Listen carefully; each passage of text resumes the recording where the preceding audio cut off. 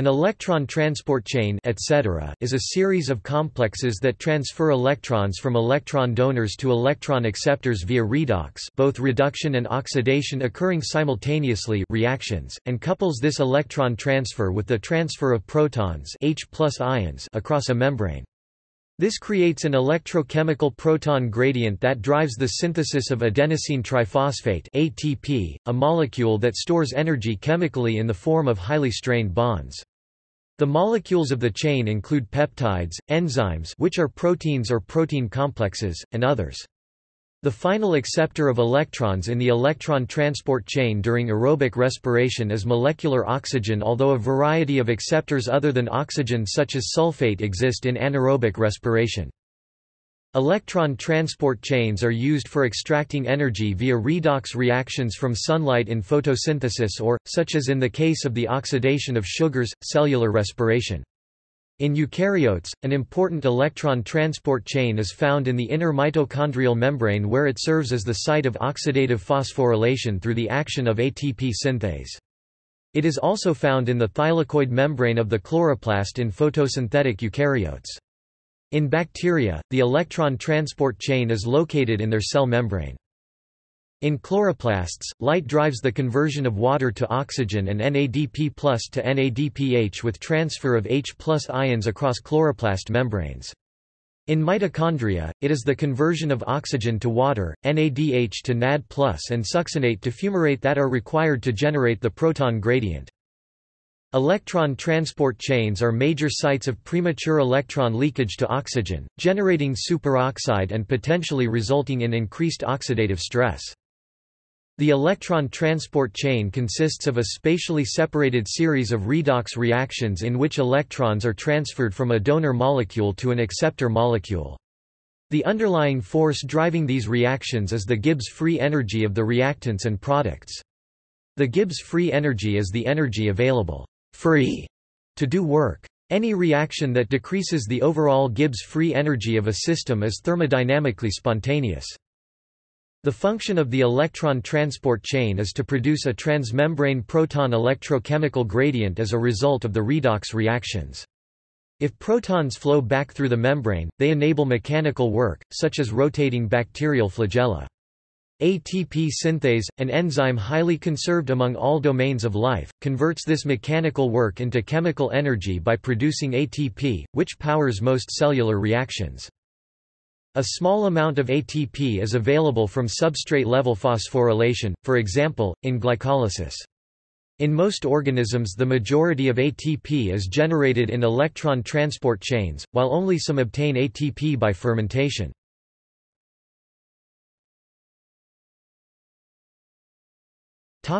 In mitochondria Most eukaryotic cells have mitochondria, which produce ATP from products of the citric acid cycle, fatty acid oxidation, and amino acid oxidation. At the mitochondrial inner membrane, electrons from NADH and FADH2 pass through the electron transport chain to oxygen, which is reduced to water. The electron transport chain comprises an enzymatic series of electron donors and acceptors. Each electron donor will pass electrons to a more electronegative acceptor, which in turn donates these electrons to another acceptor, a process that continues down the series until electrons are passed to oxygen, the most electronegative and terminal electron acceptor in the chain. Passage of electrons between donor and acceptor releases energy, which is used to generate a proton gradient across the mitochondrial membrane by actively pumping protons into the intermembrane space, producing a thermodynamic state that has the potential to do work. This entire process is called oxidative phosphorylation, since ADP is phosphorylated to ATP using the energy of hydrogen oxidation in many steps. A small percentage of electrons do not complete the whole series and instead directly leak to oxygen, resulting in the formation of the free radical superoxide, a highly reactive molecule that contributes to oxidative stress and has been implicated in a number of diseases and aging.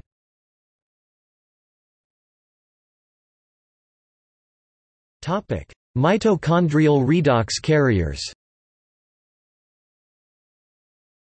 Energy obtained through the transfer of electrons down the etc. is used to pump protons from the mitochondrial matrix into the intermembrane space, creating an electrochemical proton gradient delta pH across the inner mitochondrial membrane IMM. This proton gradient is largely but not exclusively responsible for the mitochondrial membrane potential DPSM. It allows ATP synthase to use the flow of H through the enzyme back into the matrix to generate ATP from adenosine diphosphate and inorganic phosphate. Complex I NADH coenzyme Q reductase, labeled I accepts electrons from the Krebs cycle electron carrier nicotinamide adenine dinucleotide NADH, and passes them to coenzyme Q ubiquinone, labeled Q, which also receives electrons from complex II succinate dehydrogenase, labeled 2. Q passes electrons to complex 3 cytochrome BC1 complex, labeled 3, which passes them to cytochrome C CYTC. CYTC passes electrons to complex IV cytochrome C oxidase, labeled IV, which uses the electrons and hydrogen ions to reduce molecular oxygen to water. Four membrane-bound complexes have been identified in mitochondria. Each is an extremely complex transmembrane structure that is embedded in the inner membrane. Three of them are proton pumps. The structures are electrically connected by lipid-soluble electron carriers and water-soluble electron carriers. The overall electron transport chain. NADH plus H plus complex IQ complex 3 cytochrome C complex IVH2O complex 2 succinate. Topic. Complex I In complex I NADH, ubiquinone oxidoreductase, NADH-coke reductase, or NADH dehydrogenase, EC1.6.5.3, two electrons are removed from NADH and ultimately transferred to a lipid-soluble carrier, ubiquinone UQ. The reduced product, ubiquinol UQH2, freely diffuses within the membrane, and complex I translocates four protons H across the membrane, thus producing a proton gradient. Complex I is one of the main sites at which premature electron leakage to oxygen occurs, thus being one of the main sites of production of superoxide. The pathway of electrons is as follows NADH is oxidized to NAD+, by reducing flavin mononucleotide to FMNH2 in one 2-electron step. FMNH2 is then oxidized in two 1-electron steps, through a semiquinone intermediate. Each electron thus transfers from the FMNH2 to an Fe-S cluster, from the Fe-S cluster to ubiquinone Q.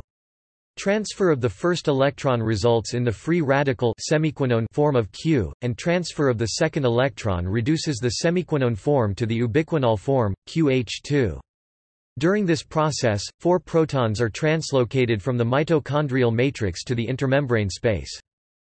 As the electrons become continuously oxidized and reduced throughout the complex an electron current is produced along the 180 angstrom width of the complex within the membrane. This current powers the active transport of four protons to the intermembrane space per two electrons from NADH. This complex is inhibited by alkylguanides example, guanethidine, rotenone, barbiturates, chlorpromazine, piericidin.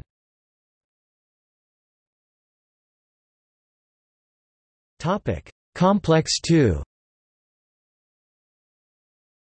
In complex 2 succinate dehydrogenase or succinate coke reductase, EC1.3.5.1 additional electrons are delivered into the quinone pool Q originating from succinate and transferred via flavin adenine dinucleotide FAD to Q. Complex 2 consists of four protein subunits, succinate dehydrogenase, SDHA, succinate dehydrogenase ubiquinone iron sulfur subunit, mitochondrial, SDHB, succinate dehydrogenase complex subunit C, SDHC and succinate dehydrogenase complex, subunit D, SDHD. Other electron donors e.g., fatty acids and glycerol 3-phosphate also direct electrons into Q via FAD. Complex 2 is a parallel electron transport pathway to complex 1, but unlike complex 1, no protons are transported to the intermembrane space in this pathway. Therefore, the pathway through complex II contributes less energy to the overall electron transport chain process. This complex is inhibited by carboxin.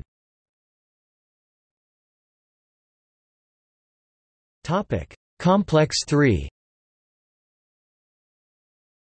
in complex 3 cytochrome BC1 complex or COQH2 cytochrome C reductase, EC1.10.2.2, the Q cycle contributes to the proton gradient by an asymmetric absorption, release of protons. Two electrons are removed from QH2 at the QO site and sequentially transferred to two molecules of cytochrome C, a water-soluble electron carrier located within the intermembrane space. The two other electrons sequentially pass across the protein to the Qi site where the quinone part of ubiquinone is reduced to quinol.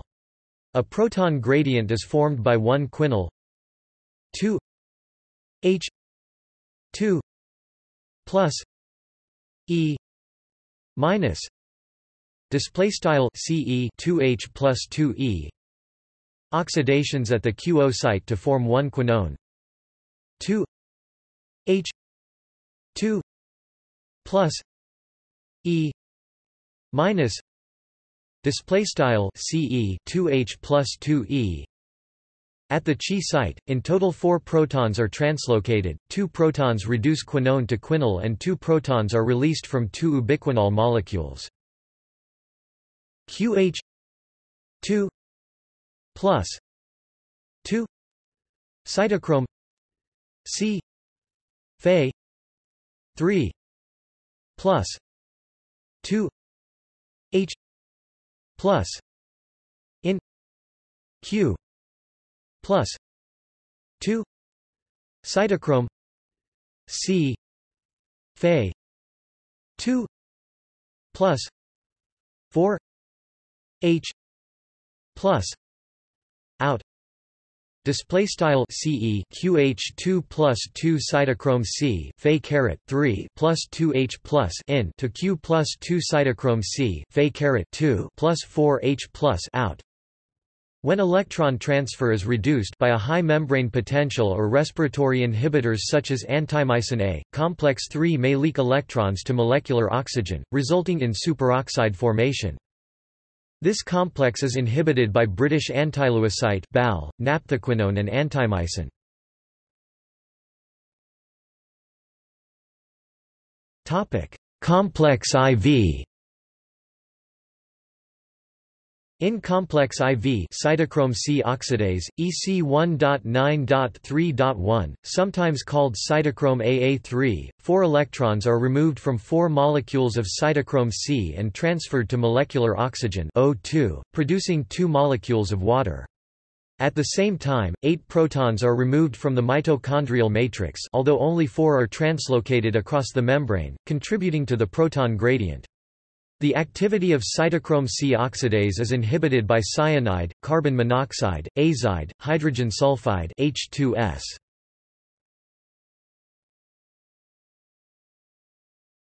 Topic: Coupling with oxidative phosphorylation.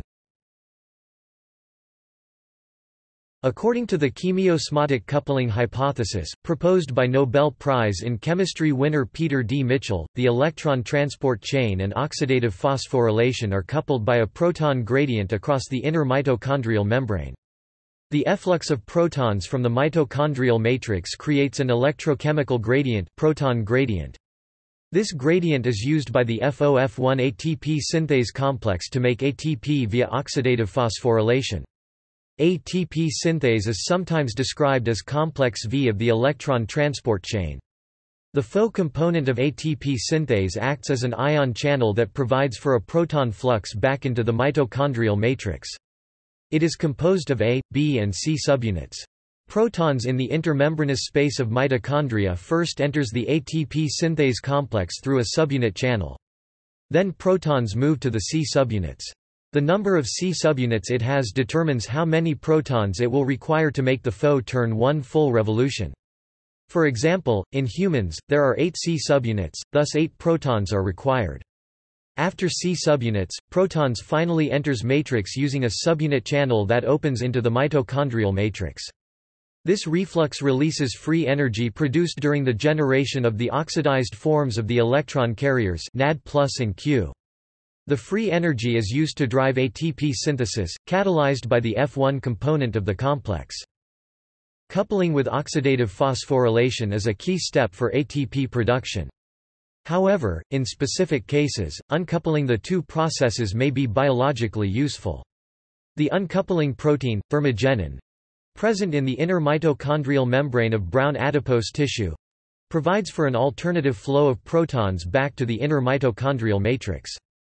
Thyroxine is also a natural uncoupler. This alternative flow results in thermogenesis rather than ATP production. Synthetic uncouplers e.g., 2,4-dinitrophenol, 2,4-dinitrocresol, CCCP also exist, and can be lethal at high doses.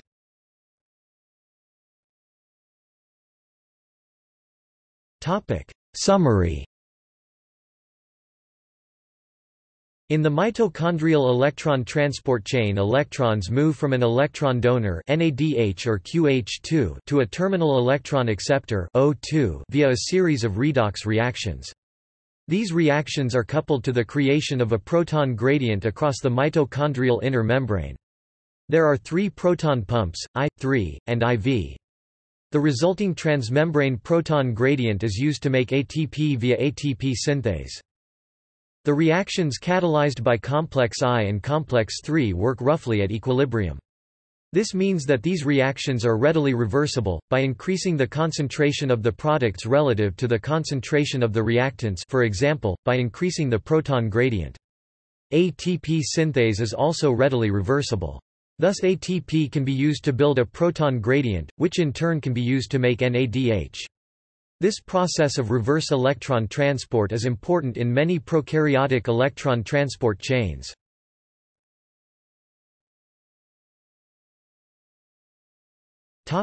In bacteria In eukaryotes, NADH is the most important electron donor. The associated electron transport chain is NADH complex IQ complex 3 cytochrome C complex IVO2 where complexes I, 3 and IV are proton pumps, while Q and cytochrome C are mobile electron carriers. The electron acceptor is molecular oxygen. In prokaryotes bacteria and archaea the situation is more complicated, because there are several different electron donors and several different electron acceptors. The generalized electron transport chain in bacteria is donor-donor-donor dehydrogenase quinone BC1 cytochrome. Oxidase reductase oxidase reductase. Acceptor acceptor. Note that electrons can enter the chain at three levels, at the level of a dehydrogenase, at the level of the quinone pool, or at the level of a mobile cytochrome electron carrier. These levels correspond to successively more positive redox potentials, or to successively decreased potential differences relative to the terminal electron acceptor. In other words, they correspond to successively smaller Gibbs free energy changes for the overall redox reaction donor-acceptor. Individual bacteria use multiple electron transport chains, often simultaneously. Bacteria can use a number of different electron donors, a number of different dehydrogenases, a number of different oxidases and reductases, and a number of different electron acceptors. For example, E. coli when growing aerobically using glucose as an energy source uses two different NADH dehydrogenases and two different quinol oxidases, for a total of four different electron transport chains operating simultaneously. A common feature of all electron transport chains is the presence of a proton pump to create a transmembrane proton gradient. Bacterial electron transport chains may contain as many as three proton pumps, like mitochondria, or they may contain only one or two. They always contain at least one proton pump.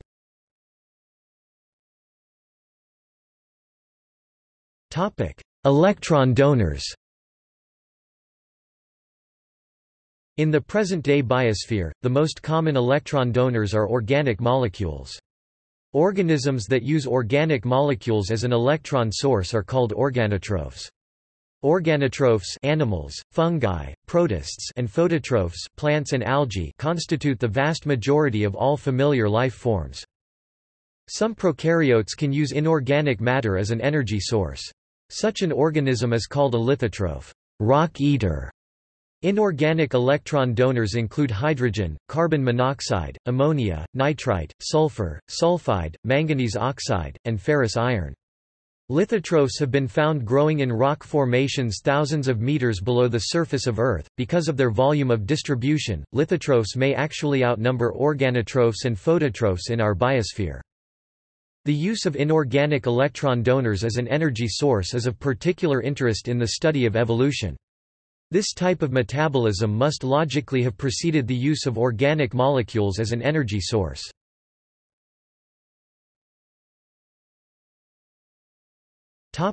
Dehydrogenases Bacteria can use a number of different electron donors. When organic matter is the energy source, the donor may be NADH or succinate, in which case electrons enter the electron transport chain via NADH dehydrogenase similar to complex I in mitochondria or succinate dehydrogenase similar to complex II. Other dehydrogenases may be used to process different energy sources, formate dehydrogenase, lactate dehydrogenase, glyceraldehyde 3-phosphate dehydrogenase, H2 dehydrogenase hydrogenase, etc.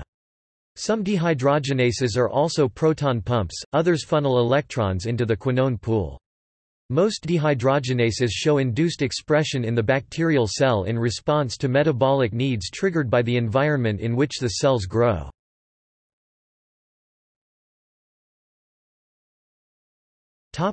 Quinone carriers Quinones are mobile, lipid-soluble carriers that shuttle electrons and protons between large, relatively immobile macromolecular complexes embedded in the membrane. Bacteria use ubiquinone the same quinone that mitochondria use and related quinones such as menaquinone. Another name for ubiquinone is coenzyme Q10.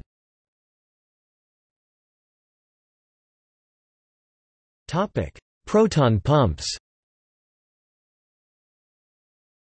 A proton pump is any process that creates a proton gradient across a membrane.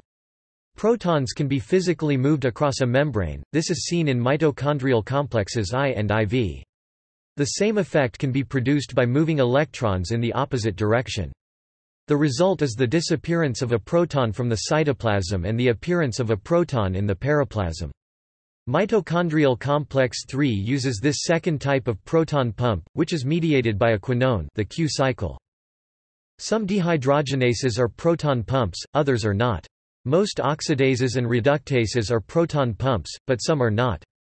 Cytochrome BC1 is a proton pump found in many, but not all, bacteria it is not found in E. coli. As the name implies, bacterial BC1 is similar to mitochondrial BC1 complex 3. Proton pumps are the heart of the electron transport process. They produce the transmembrane electrochemical gradient that enables ATP synthase to synthesize ATP.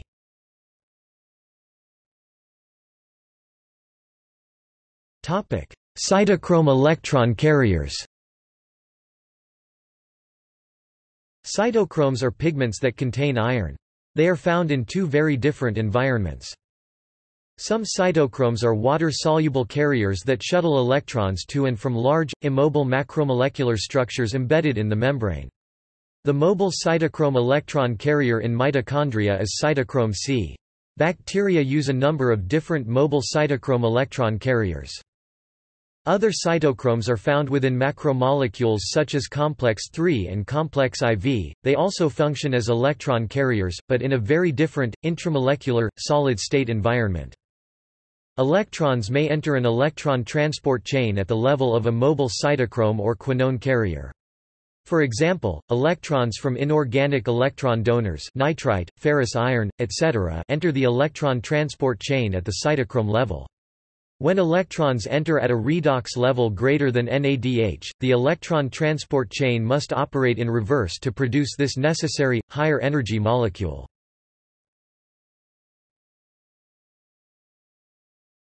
Topic: Terminal oxidases and reductases.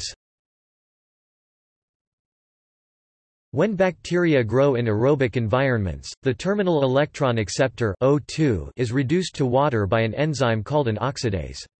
When bacteria grow in anaerobic environments, the terminal electron acceptor is reduced by an enzyme called a reductase. In mitochondria the terminal membrane complex, complex IV is cytochrome oxidase. Aerobic bacteria use a number of different terminal oxidases. For example, E. coli does not have a cytochrome oxidase or a BC1 complex.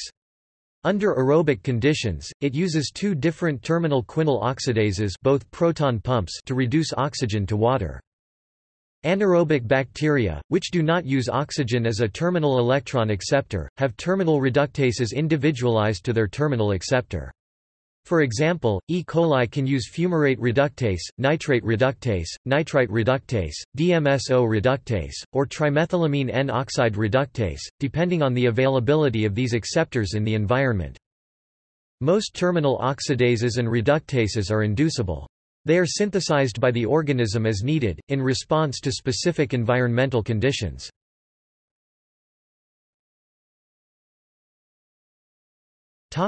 Electron acceptors Just as there are a number of different electron donors organic matter in organotrophs, inorganic matter in lithotrophs, there are a number of different electron acceptors, both organic and inorganic. If oxygen is available, it is invariably used as the terminal electron acceptor, because it generates the greatest Gibbs free energy change and produces the most energy. In anaerobic environments, different electron acceptors are used, including nitrate, nitrite, ferric iron, sulfate, carbon dioxide, and small organic molecules such as fumarate. Since electron transport chains are redox processes, they can be described as the sum of two redox pairs. For example, the mitochondrial electron transport chain can be described as the sum of the NAD+, NADH redox pair and the O2, H2O redox pair. NADH is the electron donor and O2 is the electron acceptor. Not every donor-acceptor combination is thermodynamically possible. The redox potential of the acceptor must be more positive than the redox potential of the donor. Furthermore, actual environmental conditions may be far different from standard conditions 1 molar concentrations, 1 atmosphere partial pressures, pH equals 7, which apply to standard redox potentials. For example, hydrogen-evolving bacteria grow at an ambient partial pressure of hydrogen gas of 10-4 atmospheres. The associated redox reaction, which is thermodynamically favorable in nature, is thermodynamic impossible under standard Conditions equals Topic Summary equals Bacterial electron transport pathways are, in general, inducible. Depending on their environment, bacteria can synthesize different transmembrane complexes and produce different electron transport chains in their cell membranes. Bacteria select their electron transport chains from a DNA library containing multiple possible dehydrogenases, terminal oxidases and terminal reductases. The situation is often summarized by saying that electron transport chains in bacteria are branched, modular, and inducible.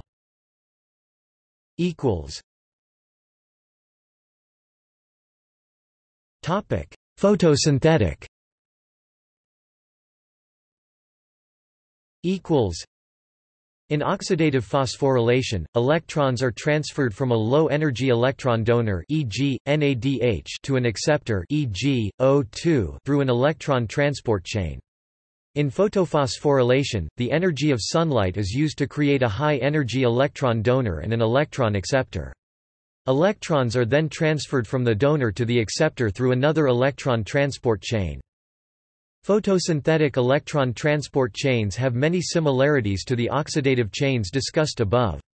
They use mobile, lipid-soluble carriers quinones and mobile, water-soluble carriers cytochromes, etc. They also contain a proton pump. It is remarkable that the proton pump in all photosynthetic chains resembles mitochondrial complex 3. Photosynthetic electron transport chains are discussed in greater detail in the articles Photophosphorylation, photosynthesis, photosynthetic reaction center and light-dependent reaction.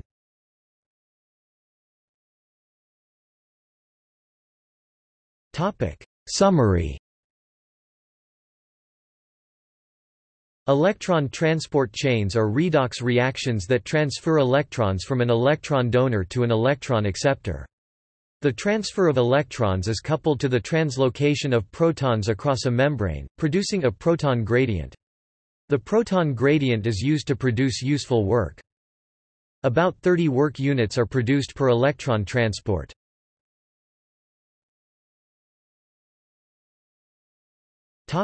See also CoRR hypothesis Electron equivalent Hydrogen hypothesis Respirasome